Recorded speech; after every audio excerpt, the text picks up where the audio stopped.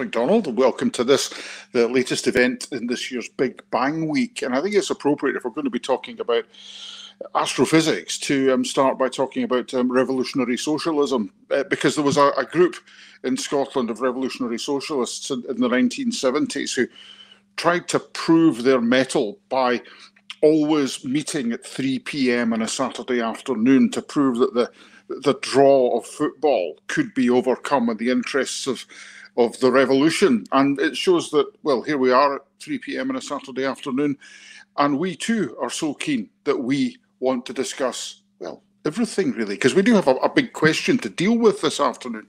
Where is the universe? Now, easy answer would be, well, it's here and there and everywhere, but 99% of it is invisible. Now, that might not seem like too much of a problem, given that all the stuff we need is readily to hand, and we, we can see that. But our guest would like to disabuse you of that and tell us a scientific detective story. Dr. Matthew Bothwell is public astronomer at the University of Cambridge, and when he's not doing that, he studies the evolution of galaxies. We're going to be talking about his book, this book, The Invisible Universe, and uh, you can join him by sending us questions in the comments section down below on YouTube. Uh, let me say hello, Dr. Matt Bothwell. Good afternoon. You doing? Um, absolute pleasure to be here. I'm very, yeah, very excited to dig into these things. Everything you're talking about, the the missing universe. I don't know. It's, it's stuff I'm fascinated by. So, um, yeah, it's always very fun to talk about. Yes, when you look at the billions of stars out there, only some of which we, we can see with the naked eye or even with a telescope, you think we've got enough universe to be getting on with. But before before we get to that question, what is a public astronomer? It sounds a bit like a public intellectual, but with a telescope. well, so yes, yeah, so my job is is public astronomer at the Institute of Astronomy in Cambridge. Um, it basically means um, that I'm a science communicator. Um, so I don't do that much full time research anymore. My full time job now is talking about astronomy, and that means everything from giving public lectures and going into schools, talking to, to kids, and running stargazing evenings. Uh, to um, writing books like the Invisible Universe. So I'm, I'm the sort of the interface between fundamental science and the public, basically. And the universe in, in your book, it, there are actually two different types of invisibility. There's there's the stuff that we can't immediately see, and there's the stuff that we know has to be there, but we don't even know what it is yet. Right. Well, yeah, this is a, sort of a categorization I sort of invented for the book, right? Because there are invisible things all around us, right? So those of you watching this on some kind of wireless device will know, right? There is information from your router going to your laptop and which is giving you the internet and letting you like receive these messages like you know that's there right but you can't see it with our eyes but you can pick it up perfectly easily if you have uh, like a wireless card like you have in your laptop right um, or radio telescopes or you know or the radio in your car right can pick up these invisible radio waves where they're perfectly detectable. We just can't happen to see them with our eyes. But there is stuff in the universe that is even more invisible than that. Um, so this is, I think, in the book I call it this type two invisibility, and that's the stuff that uh, we scientists call dark matter. Um, and that's this stuff, and I'm sure we can get into this more, but it's this stuff that the universe appears to be full of, right? The universe seems to be full of this invisible stuff, this ocean of particles, and they are there. We can see the effects, but as far as we can tell, we can't see them at any wavelength.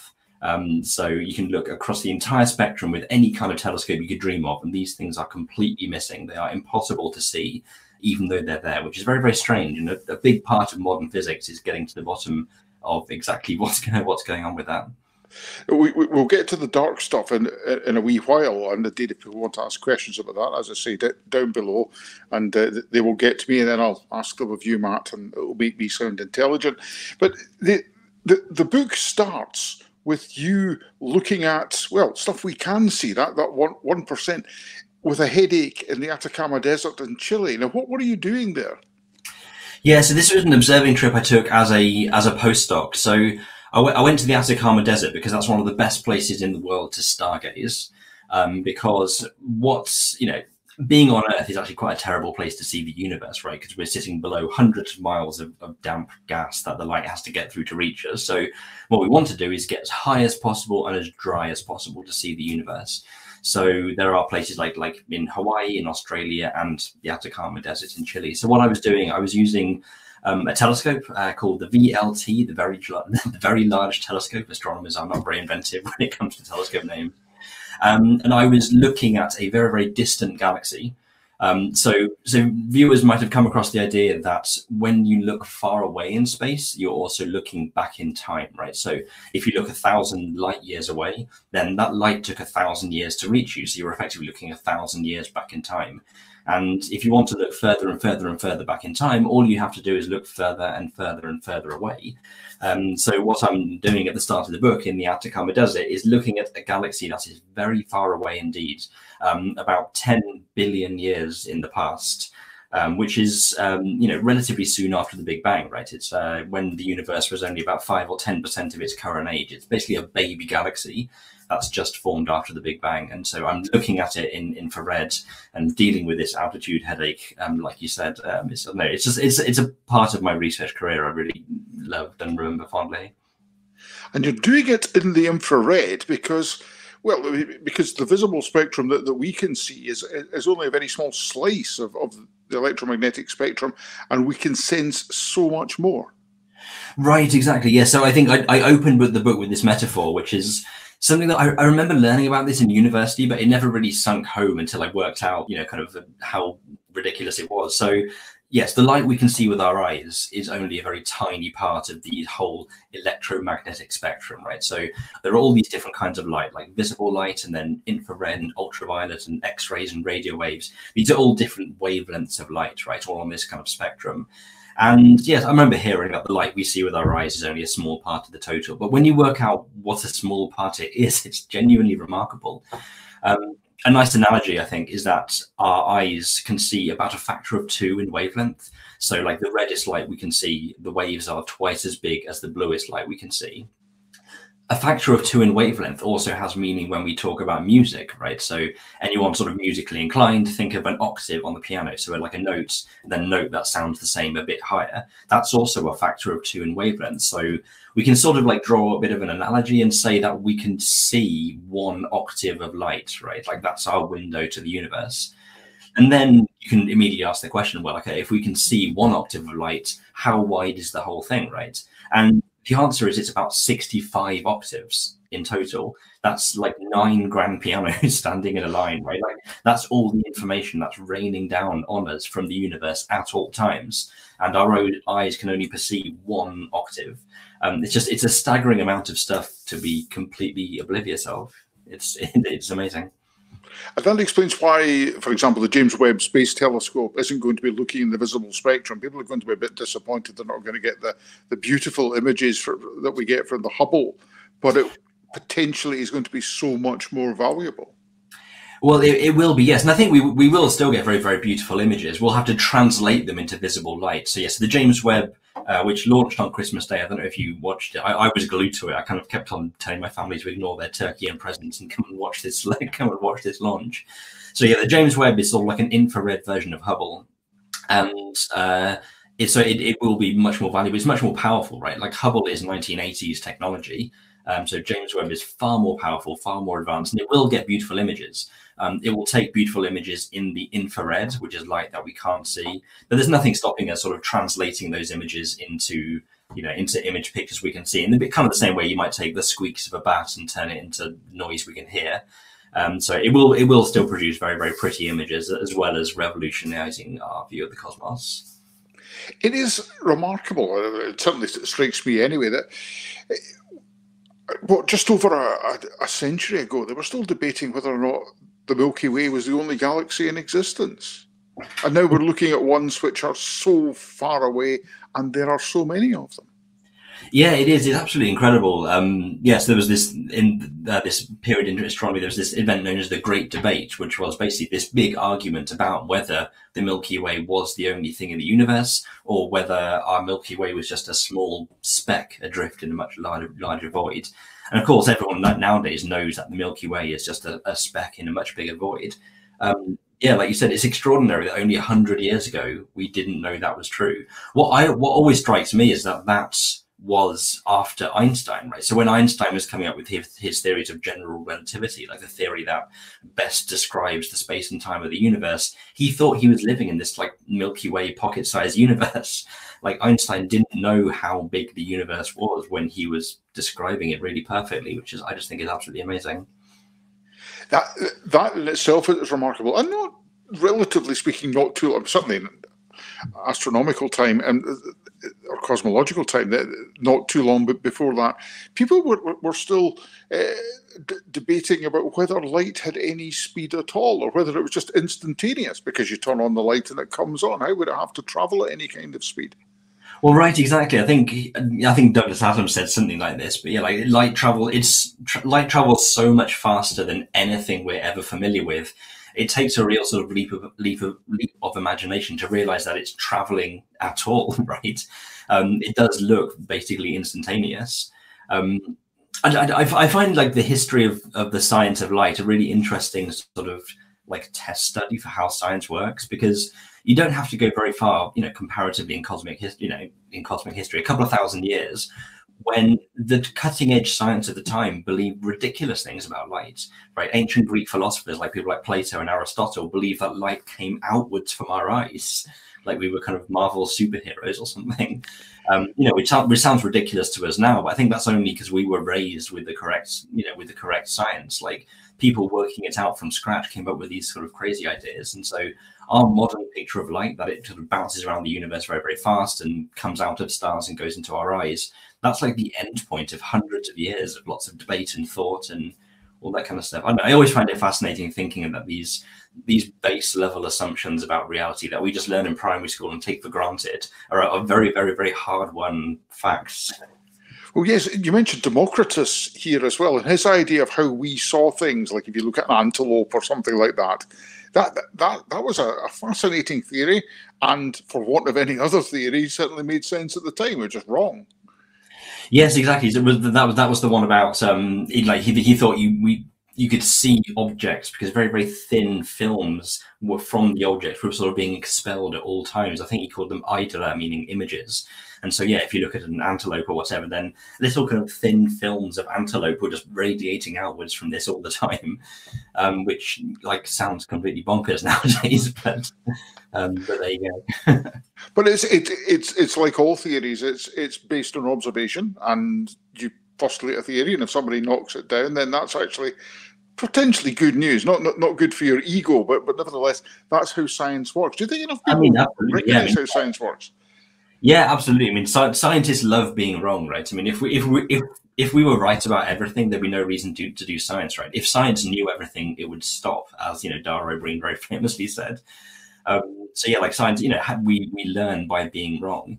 I think the most interesting question when we think about this kind of stuff is what are people in the future going to look back on us and find equally ridiculous, right? Like, because you know, the ancient Greeks were not a you know stupid people, right? They came up with really fundamental things to do with mathematics and geometry and engineering that we still use today.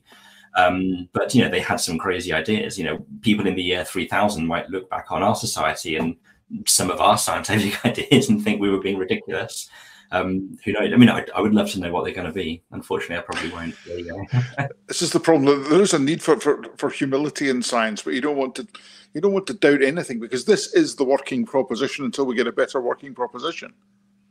Yeah, exactly. Like science, I, I, always think like science is a verb, right? Like science is a way of analyzing the world with a level of humility and you know and understanding to be wrong. And I think it's the best method we've got you know, and like it, it leads to a lot of doubt and uncertainty. Like sometimes the best scientific answer you can give is, I don't know, but I'm going to try and find out. Um, you know, like science doesn't give you certainty, but it's, it's, it's kind of the best thing we have, unfortunately, for understanding the world. Well, so, for example, that reminds me of um, Professor Sir Fred Hoyle, who I, I, was actually lucky when I was a Callow schoolboy to, to see giving a public lecture, and wow. he was he, he was great. He, he was really good, strong Manchester accent. Mm-hmm. Um, no nonsense, as, as they used to say. He didn't buy, for example, the idea that the universe was expanding. Not not initially. It was just there. That's what that was the prevailing view. It was just there. What changed people's minds? What did change Fred Hoyle's mind? Because he he did eventually come out with with a different theory. So he did. So yeah. So I think. So, so, I think I think nothing changed Fred Hoyle's mind, right? So yeah. So Fred Hoyle was very opposed to this idea, and he he, he went to his grave thinking this was true. So if, if we go back hundred years to you know when we thought the, the the universe was this sort of pocket-sized universe, people also thought that the universe had been around forever. It's one of the central pillars of our understanding of the universe that it was infinitely old. Um, the idea that the universe might have been created at some point was almost seen as like a dangerously religious idea, right? You know, if you were a sober person of science, you believe that the universe was infinitely old. Um, like the real, the, the, sort of the first brick or the first rock in the avalanche was this American astronomer called Edwin Hubble, um, who observed galaxies all the way around the sky and saw that they were all moving away from us. Uh, so every galaxy seemed to be sort of moving away from the Milky Way and they were moving with this particular pattern where like the further away a galaxy was, the faster it was moving, and that's is the telltale smoking gun signature of a universe which is expanding. And so, you know, that was a bit of a shock in itself, but then that leads people to go back and reevaluate that pillar, which they thought they had before, right? Like, if you think the universe is infinitely old and has been sitting there unchanging, it's a bit of a shock to find out that your universe is growing and growing and growing, right? If you see something growing, it stands to reason there could, should have been some beginning point to start off the growth, right? If you see an oak tree growing, it makes sense that at one point it was an acorn. And so, yeah, seeing the expanding universe, people immediately thought, well, you know, like if you rewind the tape back to the beginning, was there a starting point to the universe? Um, we now know the answer is, of course, yes, and that's what we call the Big Bang. It was this sort of enormous explosion of matter and energy. What energy initially, then the energy cooled down to become matter, that started our universe. But this was very controversial. And like, yeah, Fred Hoyle, like you said, hated the idea of the Big Bang. He spent his entire career arguing that there was no Big Bang and the universe had been around forever. He did modify his idea, though, and it came up with this idea of, of the, the, the, the, steady state, whereas the, the more was there was a kind of horn of plenty at the, at the middle of the universe, which was pumping out more matter, which then shot yeah. away. Exactly. Yeah. So Fred Fred Hoyle's idea, because the, the big problem that they had, so that Hubble's observations you couldn't argue with, right? Like the universe did very much look like it was getting bigger. All galaxies were definitively getting further and further apart. And so the challenge for Fred Hoyle and the challenge for all these scientists that didn't want there to be a Big Bang was how do you explain the fact that all these galaxies are moving further and further apart, but without some beginning point to kick it off? And yeah, so as you said, Fred Hoyle came up with this theory called the steady state theory.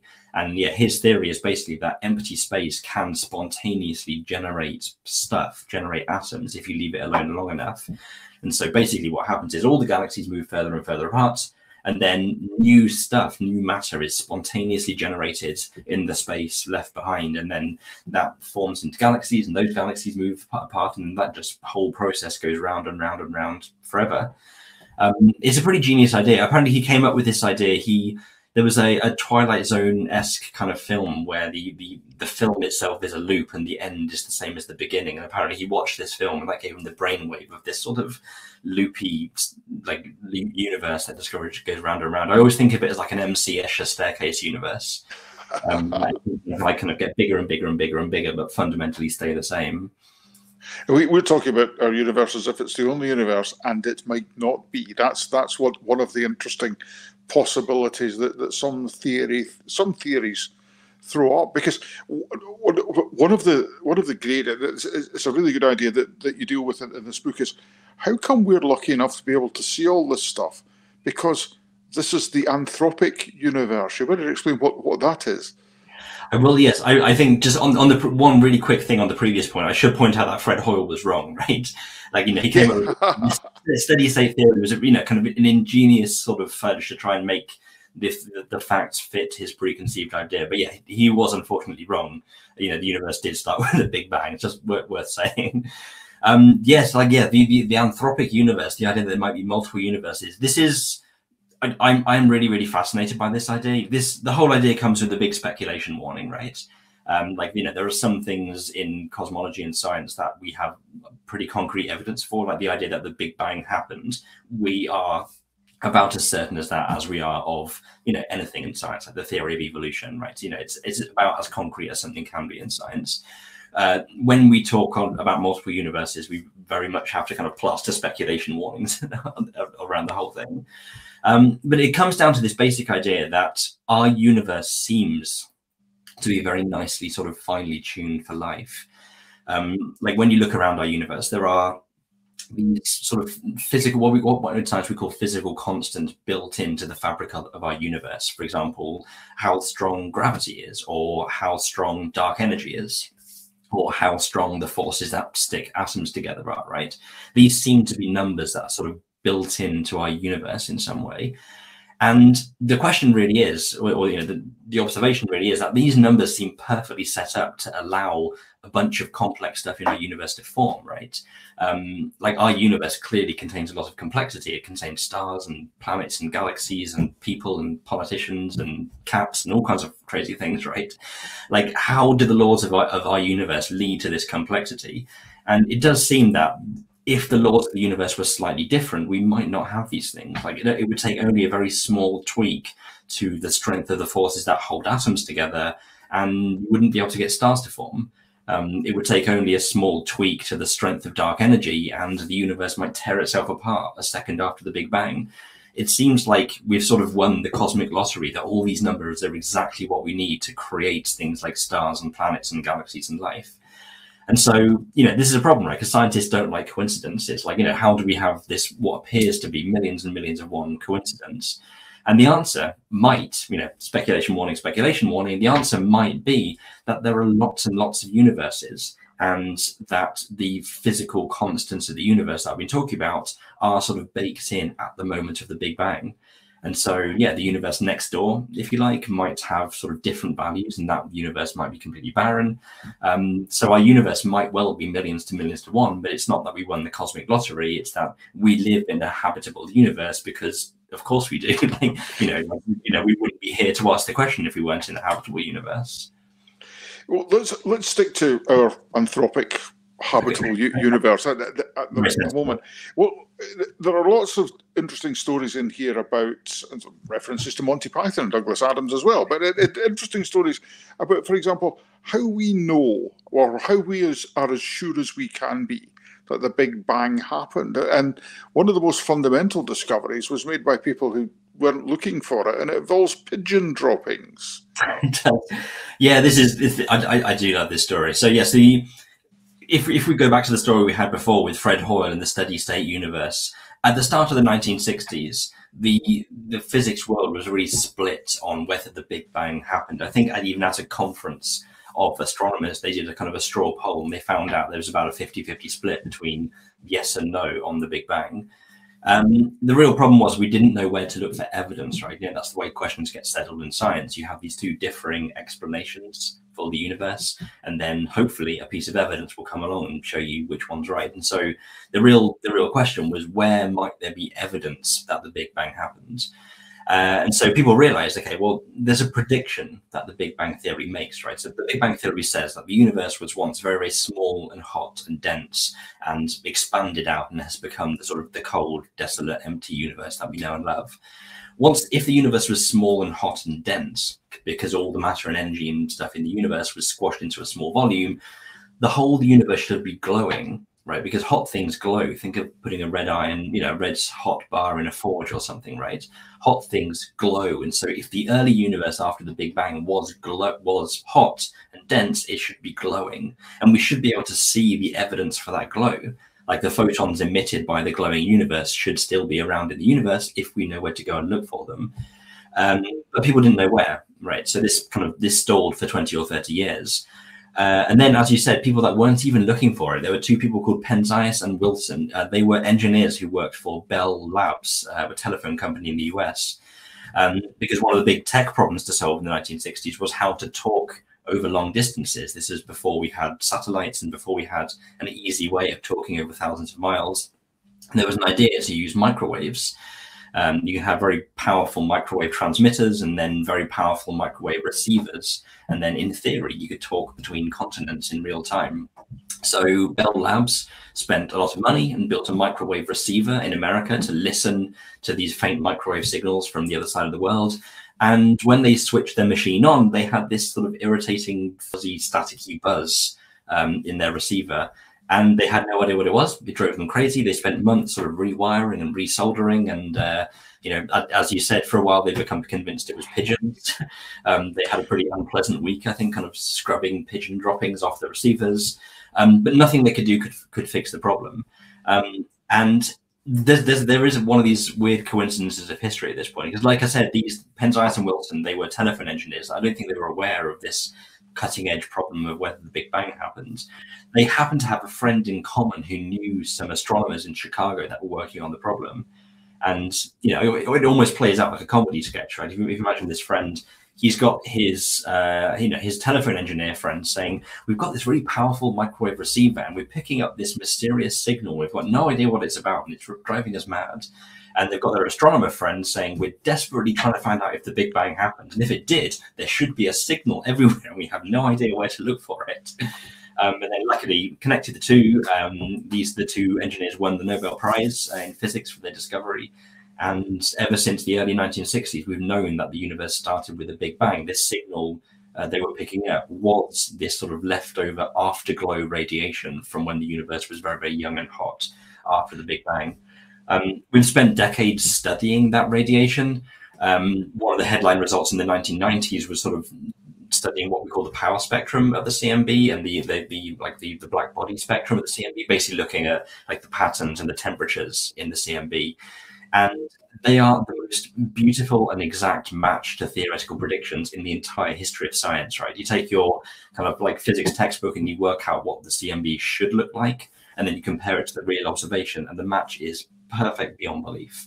Um, which is why we are very, very certain that our universe started with a Big Bang. We have this exquisite match between prediction and uh, and reality.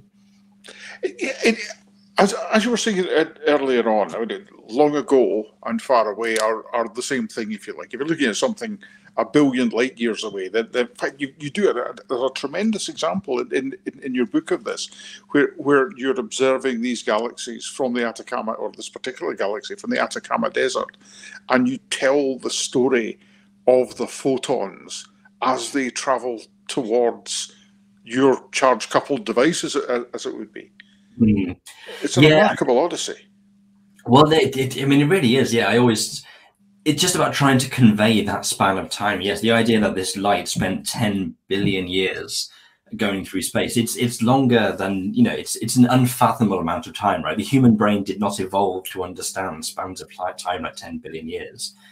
Um, I think the, the first thing that what what made me kind of really want to tell this sort of photons eye view odyssey of the journey is realizing that I, I, had the realization that photons would have been entering our Milky Way galaxy. You know, the very, very, very final stop of the journey. You know, imagine driving across a continent, and then you know the moment that you turn into your driveway, basically, at the very end of the journey, the photons would be entering our Milky Way galaxy around the time that human beings evolved on the plains of Africa. You know, and it's like the the the the, the difference between those two like time scales, right? Like so from the photon point of view, it's the very very very last step, but from a human point of view, it's all of human history. You know, going back two hundred thousand years. Um, I don't know. It's just like the the kind of the the, the, the handoff between those two vast timescales. I find really fascinating you, you talk about the, the, the way in which, uh, I, I, as you were saying, how, how far away things were, how long they get to be here. At one point, you're talking about looking at things which are actually further away than the universe is old, if, if that's a way of putting it. More than 13.8 billion light years away, which means before the Big Bang. That that again, to our brains, that does not make sense. Sure. Well, I think it's, it's, it's not actually that complex to understand, but yeah, it is very counterintuitive because yes, we know the, the universe is about 13.6 billion years old, right? And we know that light travels through the universe. And so your, you know, the first thing to imagine would be that we can't see anything further away than 13.6 billion light years, right? Because that's how old the universe is. That would be true if the universe wasn't expanding, but the universe is expanding. And so, you know, light that set off 10 billion years ago has traveled much, much, much more than 10 billion light years to reach us, right? Like, if you could press pause on our universe's expansion and just hold the universe static, then that would be true. Then, yes, a, a galaxy 10 billion light years away, uh, the light would get to us and it would be a 10 billion year journey and it would be 10 billion light years away. But because the universe is expanding, after the light left, the galaxy is moving further and further and further away. So we're actually seeing something much, much further away than just the light travel time. As an analogy, kind of imagine hearing like a kind of a sonic boom from an aircraft or something. Um, you know, like if you if you hear a sonic boom from an aircraft, and you know the, when the and you hear the boom when the aircraft was sort of ten sound seconds away or something. When you hear that boom, the aircraft is much, much, much further away than 10 sound seconds, right? Because it's been traveling the whole time. So you're actually hearing something that's much, much further away than you would otherwise because it's kind of traveling away. You also take us through, and, and I'll, I'll, show the book again. It's available on the uh, Book Festival website. Former Orderly Q, please. And indeed, um, keep your uh, questions coming in at, on, on, YouTube as well, and I'll, I'll, try and I'll try and raise as many of them as I possibly can. Although there'll inevitably be the, the car crash at the end as everybody tries to get a question in in the last five minutes. But never mind. Um, it, it, there are there are so many fascinating things, just entities out, out there, if you like. Dead galaxies, for one. How did galaxies die, and why are they still there?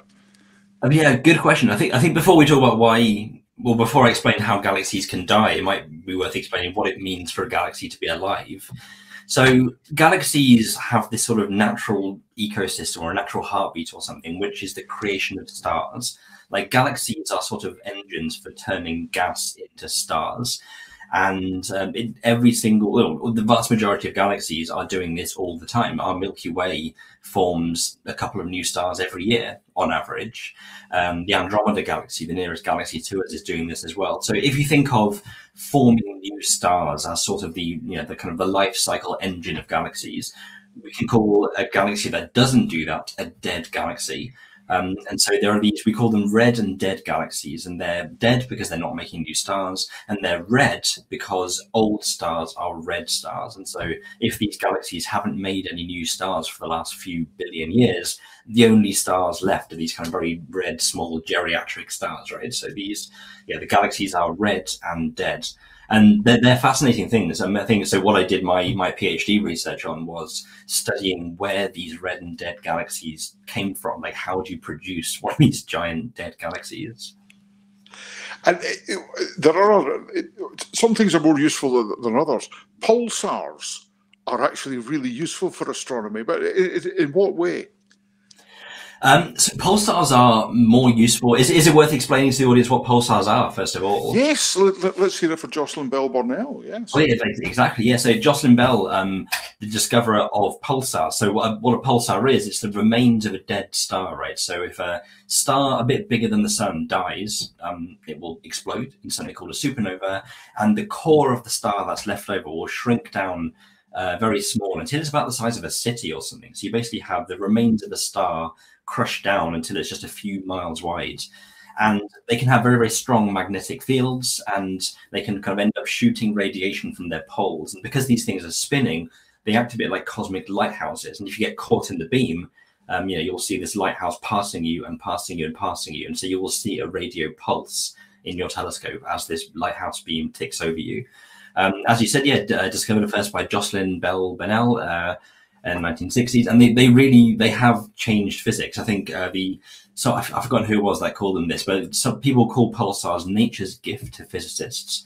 Um, they they do an enormous amount for us. And first of all, even the discovery of pulsars, full stop, taught us um, about exotic new states of matter that we didn't like previously dream of. I mean, to to take an entire star and squash it down into the size of a city, it has to be unbelievably dense um, the you know a, a, teaspoonful of pulse of pulsar material would weigh millions and millions of tons like per teaspoon so you know just the discovery that these exotic states of matter can exist are amazing um, the other reason they are very useful is that I described them as these cosmic lighthouses, kind of causing pulses in our telescopes.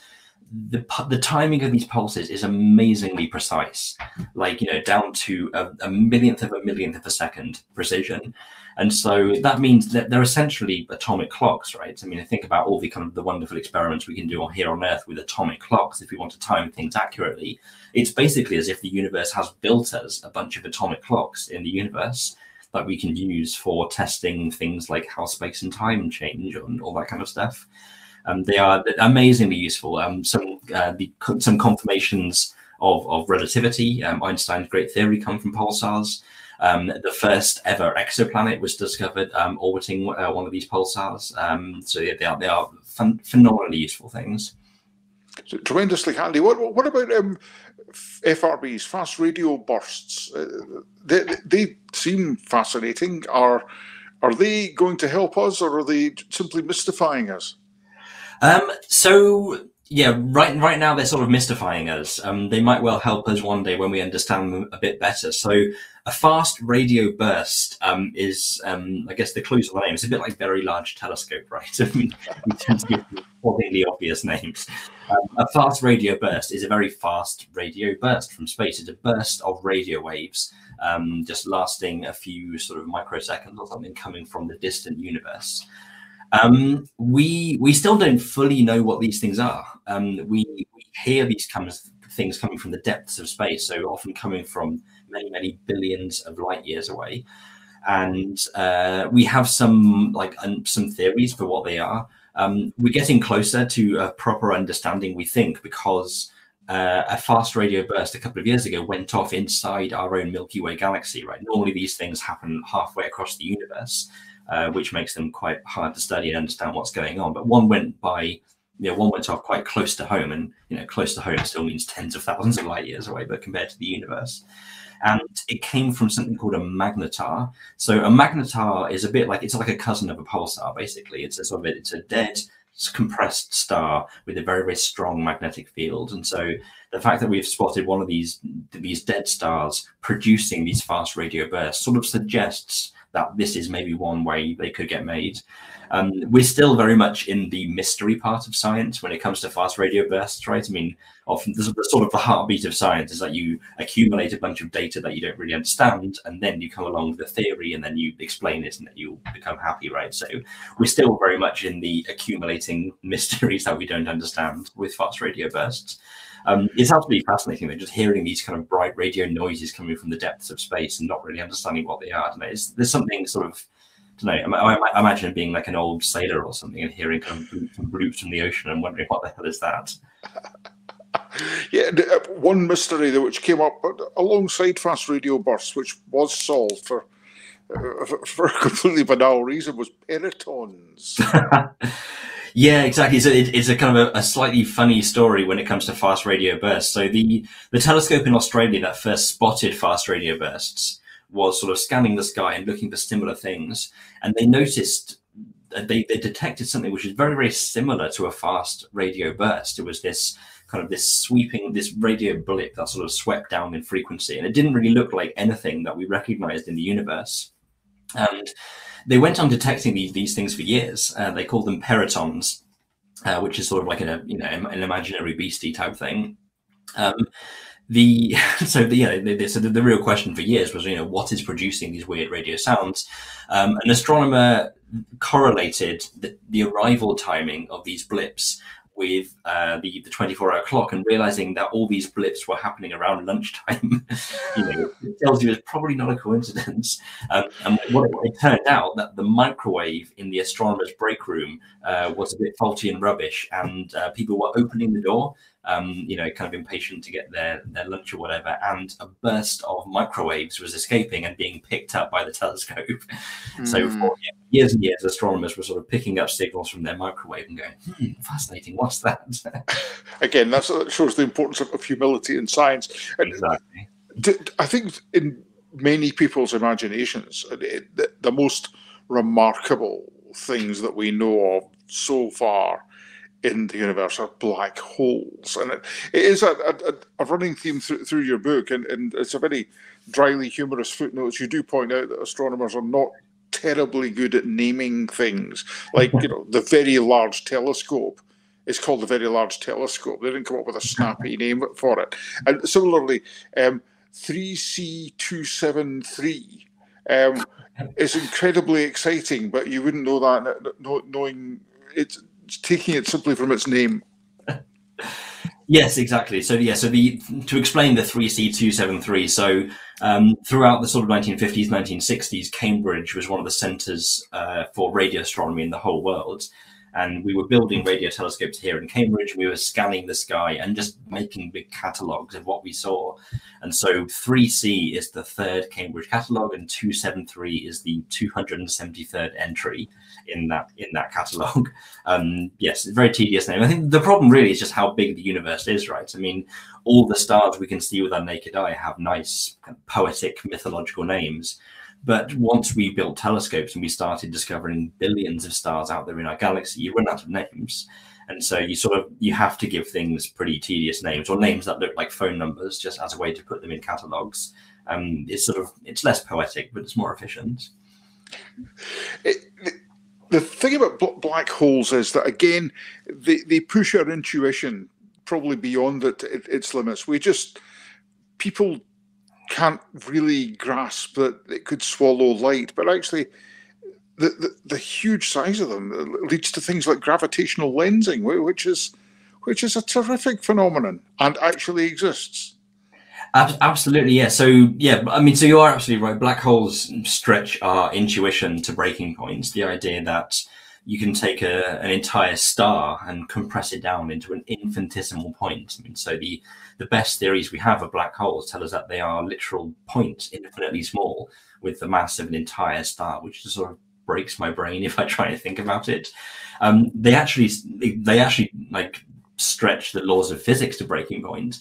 Um, we don't have like a full, complete description of how black holes work, and um, we'll, we'll get onto gravitational lensing in a second, but I think it's worth saying one of the fascinating things about black holes is that they lie in the intersection between these two great physical theories, which makes them hard to explain. So in the 20th century, like the two most successful theories of physics that we have that explain most of the universe are relativity and quantum mechanics. And relativity was Einstein's thing, of course, that describes how space and time work on the biggest scales. So when we talk about the universe as a whole or very, very heavy things, we can use relativity. It works perfectly. And when we want to talk about small things, we use quantum mechanics, right? Quantum mechanics describes how electrons and atoms and all that kind of things work. You know, so the the, the computer and the device that you're watching this on will be designed with the laws of quantum mechanics in mind because the electrons are scuttling around the wires and doing all kinds of bits. So we have these two amazing theories of the universe. Relativity describes big, heavy things. Quantum mechanics describes small and uh, small things. The problem is these two theories don't play nice together, right? We don't have, we don't know how these two theories like work together which they should because it's all one universe, right? You know, it's universe on big scales and the universe on small scale. So in theory, they should work together. Um, in practice, we don't know how to make them fit. And the problem is black holes need both, right? Because black holes are very, very heavy things. So we need relativity to describe them, but they're also very, very small. But, you know, the actual singularity is smaller than an atom. So we need quantum mechanics to describe that bit as well. And so black holes sort of lie in this overlap when the overlap is the thing that we don't know how to explain properly. So they are, yeah, they, they are kind of stress stress testing our laws of physics to the absolute limits. Um, Quantum. You mentioned gravitational lensing. I don't know if you want to talk about that. Oh yes, yes, please. Yeah, so gravitational lensing was um, again one of these things that come out of Einstein's theory and then turned out to be true. So basically the idea so einstein's theory of relativity tells us that space and time like the fabric of the universe is stretchy sort of like a you know the famous analogy is like a rubber sheet. And that's what gravity actually is. It's being in stretchy space and time. Isaac newton described gravity as a force. Um, so if i take a pencil and drop it you know it's being pulled down by a force from the earth. And einstein said no that's not true. There's no force. It's just stretchy bendy space. Um, and so, you know, that's, that's a much better description of gravity, and that's the kind of that's the description of gravity modern physics use uses. Um, it turns out um, if straight if space is stretchy and bendy, it can lens things in the same way that um, sort of light passing through glass or like a, a spectacle lens or something will bend and focus and magnify the image, the same thing can happen with space. Um, if you have some very massive thing in the universe, like either a black hole or a galaxy or a cluster of galaxies, it will bend the space around it. And then that space can magnify uh, objects in, in the background. Um, it's sort of like the universe builds us natural telescopes. Um, there are things in the very, very far distant universe, billions of light years away, that we would not be able to see. They, they would be too faint to see if there wasn't something very, very big in the foreground, bending the space and sort of building a natural magnifying glass to see the distant universe. You, you, there is a measurement which is not measured in light years, which seems to be very important, which is in this book 21 centimeters. And it's all to do with quantum uncertainty, which is certainly a phrase that certainly conjures up my grasp of the subject. Right. Yeah. So the well, so the, the 21 centimeter line is uh, a product of the gas hydrogen. Um, so it turns out that hydrogen, like so, hydrogen is the most common substance in the universe, right? Like most of the universe is hydrogen. Hydrogen atoms on their own will naturally produce radio waves, which sounds like a crazy thing to say. Um, so the way the way it works is so what a hydrogen atom is it's a, a single proton and a single electron orbiting around it and both the proton and the electron are, can be spinning and so there are two different configurations for a hydrogen atom the spins can either be pointing in the same direction or they can be pointing in opposite directions and it turns out one of these states it has you know one of these orientations has slightly higher energy and so that's where this quantum uncertainty comes in. So an electron in the uh, in the high energy state can just spontaneously out of nowhere sort of suddenly find itself in the low energy state. Um, you know, it can just kind of flip and there'll be a bit of energy left over and this gets emitted as a radio wave so this kind of this spooky quantum weirdness means that hydrogen atoms just on on their own sitting there in space no one's looking at them will occasionally send out a little radio wave and this sounds very trivial and incidental, right? I mean, who cares about one atom emitting a little radio wave? But it turns out if you have trillions upon trillions upon trillions of atoms, like you do in a galaxy, they'll be sending out loads of these radio waves all the time. And so when we point our telescopes and we look for these 21 centimeter radio waves, we see them absolutely everywhere. And we can use this to paint a picture of all the cold gas in our universe that we would otherwise be completely invisible talking of stuff in our universe which which is invisible. Dark matter. You describe going after this stuff as ghost hunting. How do we know it's there? How do we know the ghosts are real? Um, so it's a good question. So yeah, dark matter is, I think, one of these things. It's I, I, yeah, I, I, can't wait to find out what the answer is about dark matter. So we we first became aware of dark matter in the 1930s, I think it was. There was an astronomer called Fritz Zwicky um, who was looking at clusters of galaxies. So imagine like a, a swarm of galaxies kind of all buzzing around each other, like a swarm of midges or something. And what what Zwicky noticed was that if you look at how fast the galaxies are going, they seem to be going too fast. Like, so you can look at the cluster and look at all the stuff in the cluster and work out how much the cluster weighs. And all the galaxies should have escape velocity, like clusters should all be flying apart but they weren't. And so sort of Zwicky postulated this idea that there might be some invisible stuff, and he literally called it dark matter inside the cluster holding it together. Um, so back in the 1930s, that was just sort of you know a, a, hypothesis to fit one weird data point. But just as the century rolled on, it turns out we just saw this again and again and again. So most famously, Vera Rubin um, in the 1960s was studying the rotation of galaxies and found exactly the same thing. Galaxies are spinning far too fast. Like all galaxies should just be flying apart, but they're not. There's something sort of gluing galaxies together. Um, and uh, yeah, so just almost from, from any every area of astronomy, we get the same result, which is that there seems to be a bunch of invisible stuff in the universe holding things together, and we don't really have much of an idea what it is. So we call it dark matter. Um, our best guess is that it is some kind of tiny particle, like some sort of subatomic particle that we haven't found yet that doesn't interact with the light. That's what makes it dark, right? That's this sort of type two invisibility we spoke about at the start. It's not something that we can see if we use a radio telescope or an X-ray telescope. We can't see it with any kind of telescope because it doesn't emit light at all. Um, the problem with this is that it means it, it makes it very, very hard to catch. So light is an electromagnetic wave, right? So you see, you're seeing our picture right now because electromagnetic waves are leaving your screen and going into your eyes. Um, electromagnetism is also what makes everyday objects interact, right? If I kind of knock on my teacup, what's actually happening is that the electrons in my hand and the electrons in my cup are repelling each other, right? And that's an electromagnetic interaction. If I could sort of switch off electromagnetism in my hand, my hand could just pass straight through my cup, right? Atoms are mostly empty space. It's only electromagnetism that stops that from happening. And so dark matter, because it doesn't feel electromagnetism, can just pass through anything. Like dark matter can just pass through the entire Earth as if it was a ghost. um, you know, which is all very well and good, but it makes life very hard for scientists because it means it can also pass straight through any conceivable dark matter detecting machine, right? You know, we can build a very, you know, we can go and build a dark matter detector and dark matter will just waltz straight through. Um, so it make, makes it very, very hard to find. We, we, we do have a, we do think we know how to do it in theory. So matter is mostly empty space, right? So if you imagine zooming in on an atom, it's a nucleus with an electron around the edge. Most of that is empty space, and that's why dark matter can waltz straight through. But we think dark matter should feel the weak force, which is one of these forces that sticks atomic, atomic nuclei together. So in theory, if a dark matter particle scores a direct hit on an atomic nucleus, it will sort of cause a bit of a spark and some heat. And so that's the way we think we're going to find it. So to, to find dark matter, they, they, they, build these ridiculous detectors deep underground. You'd think it was a crazy place to view the universe. So you go like a mile underground into like an abandoned mine shaft or something and get a big tank of liquid and just get a thousand cameras and stare at that liquid for years and years and years and just wait for the little ping of a dark matter particle hitting a nucleus. Um, in theory, that's how you do it. Um, in practice, we've been doing that for a few decades and we've found nothing so far.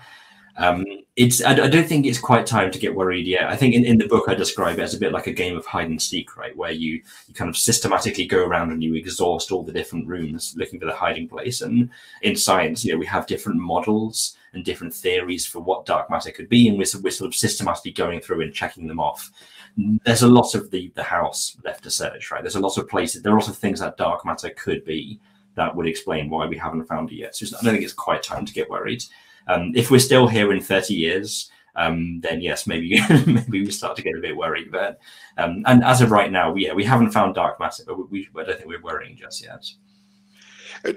I want to move on to, to another subject, which is a, a similar name um, but makes the, the hunt for dark matter seem easy. Uh, they are not relatable, as far as we know, not directly related. Dark energy. Now, we, we talked originally about the theory of the steady state, then the Big Bang, and then the expanding universe, and then the universe would get bigger or maybe start collapsing in on itself. But what suggests dark energy is another phenomenon that the universe is actually moving, expanding faster rather than slowing down.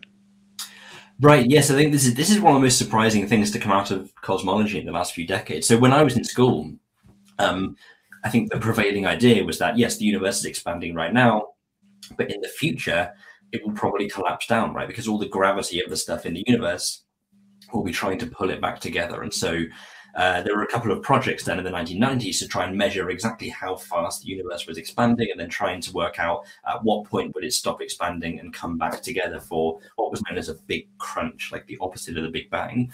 And the result of the experiment was that the universe is in fact not slowing down, but it's getting faster and faster and faster, like something is stepping on the accelerator pedal of the universe and pushing it apart at increasing speed.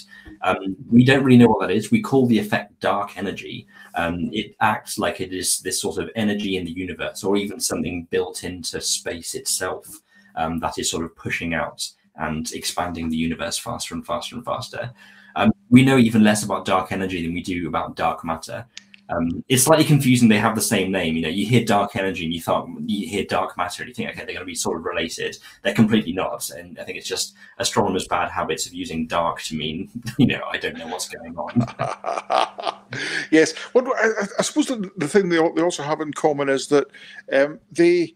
Uh, if we don't find them, if they're not there, then we have to tear up just about every theory we have, every model we have of how the universe works. Well, right. So, so there are. We wouldn't have to tear up every model. There are alternate models. Um, so, uh, a big alternate to dark matter is this theory called MOND, known as modified Newtonian dynamics.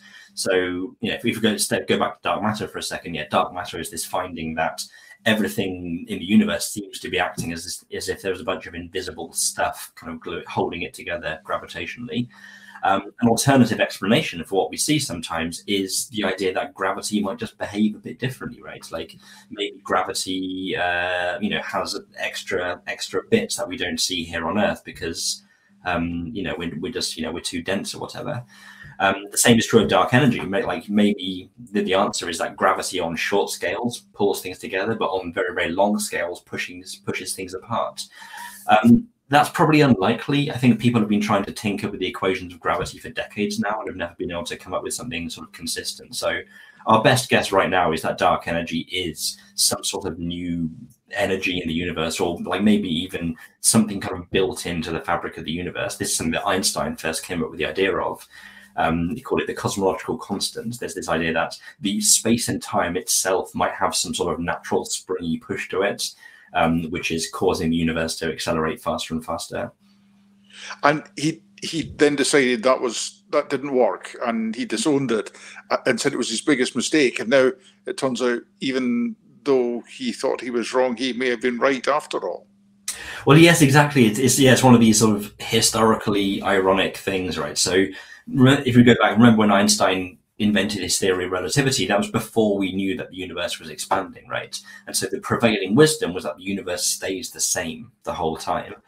And so this was a problem for Einstein because Einstein, when he wrote his equations of relativity, which describes the universe, the equations really seemed to describe a universe that wanted to change with time. It was very hard to build a static universe using Einstein's equations. Um, you could, in theory, kind of balance things out, but it would be unstable in the same way that like a pencil balancing on its tip is unstable, right? If you added one extra atom to Einstein's universe, then it would sort of collapse down. Um, so Einstein invented this new force, which he called the cosmological constant, and it was supposed to be a sort of scaffolding in the universe to keep it, to stop it from collapsing, right, to keep it steady, sort of pushing back against gravity. But then, as soon as Hubble discovered the universe was expanding, Einstein realized, okay, well, I don't need the cosmological constant, right? You know, we don't have to hold the universe fixed. The universe is just happily expanding, and that's fine. Uh, but then it turns out the universe is not just expanding; it's actually getting it's going faster and faster and faster. And so Einstein's invention, this sort of force which pushes out of the universe, actually might be a really, really good description of what's going on. It's kind of ironic. Like, yeah, like you said, he described it as his greatest mistake, and he, he might have been wrong. No, he might have been right even when he thought he was wrong. Which is, is, is a lovely thought. It, it's there are many characters come up in this this book which um, I had never heard of before and, and, are absolutely fascinating. And people who a bit like Einstein, or, or indeed like uh, like Zwicker you were talking about earlier on, who came up with um, ideas which at the time were unprovable, which turned out to be okay. I'm thinking about John Michell. Now he's he's somebody of whom you're you're quite fond. What what did he do? Right. So so yeah. So he was an, an a, a, clergyman and sort of a sort of amateur scientist almost, if you if you like. He sort of worked outside traditional academia. Um, he was one of the most kind of brilliant and unsung heroes of scientific history. I think he came up with an enormous amount of stuff, and I think he was described as uh, you know a scientist that who was so ahead of his time he was ignored, right? Because like his, his ideas were so prescient, they were just there were so many steps um, um, um, ahead of what everyone was doing. Um, he made really fundamental contributions to things like geology and magnetism and all kinds of science. But the, one of his most famous prediction, I think, was black holes. And he came up with this in the 1700s. He came up with this idea that if a star was big enough, in theory, um, you know, the, the, the, gravity at the surface would pull all the light back in, and so you wouldn't be able to see the stars. He invented this idea of an object in the universe massive enough to sort of swallow light, and he realized that would be invisible. Um, I think he called them dark stars rather than dark holes, but like the fundamental idea is exactly what we what we go with today. Um, he even came up with a way of detecting them, which is the way that we found them, uh, like in modern times. He realized if you have a binary system, so you have a dark star orbiting a regular star, what you would actually see would be the regular star just orbiting nothingness. And like this was his test. He said, okay, if you ever see this, a normal star orbiting nothingness, that's what you found there is a dark star. And that does actually work. Um, the Nobel Prize in Physics a couple of years ago went to a couple of researchers, Andrea Ghez and Reinhard Genzel, who studied the stars in the center of our Milky Way galaxy and saw them all orbiting nothingness because there's a black hole in the center of our galaxy. And it's exactly what uh, what he predicted uh, hundreds of years ago. Like an incredibly forward-thinking guy it, it is remarkable. No, everything we've talked about now, we've only got about, about, a minute left, sadly, but everything we've talked about now, uh, up till now, has been on the electromagnetic spectrum. Gravitational waves are above and beyond and beneath and, and, and through that. And yet they could be one of the most exciting media that we can use for astronomy in the future. Absolutely, yeah. I think gravitational waves are a revolutionary new way to study the universe. Um, they they come straight from the theory of, of relativity. Um, as soon as you like accept Einstein's universe of stretchy, flexible space and time, it sort of makes sense that you can have waves in that stretchy, flexible medium in the same ways that you can have waves in a trampoline or rubber sheet. And very energetic events like black holes colliding will set up ripples in space and time and so we, we detected the first ever gravitational wave. And I, I, say we, I mean sort of the human race, right? I wasn't involved in this work. Um, you know, so like you know, the human race, we detected our first ever gravitational wave in 2015. Um, so it, it's a brand new field of science. I think it, it, it, has the potential to be as revolutionary as almost anything else in the history of astronomy. I think I, th- I think the coming century might very well be a gravitational wave century. It's a great time to be a public astronomer. thank you very much, uh, Matthew Bothwell. I just should just say the invisible universe, why there's more to reality than meets the eye, is available online uh, from the Wigtown Book Festival shop itself. And I'd like to say on behalf of the audience as well, thank you very much, Matt Bothwell. Well, yeah, th- thank you so much. Thank you, uh, Ken. Thank you, Wigtown. It's been an absolute pleasure uh, to come here and talk today. Thank you.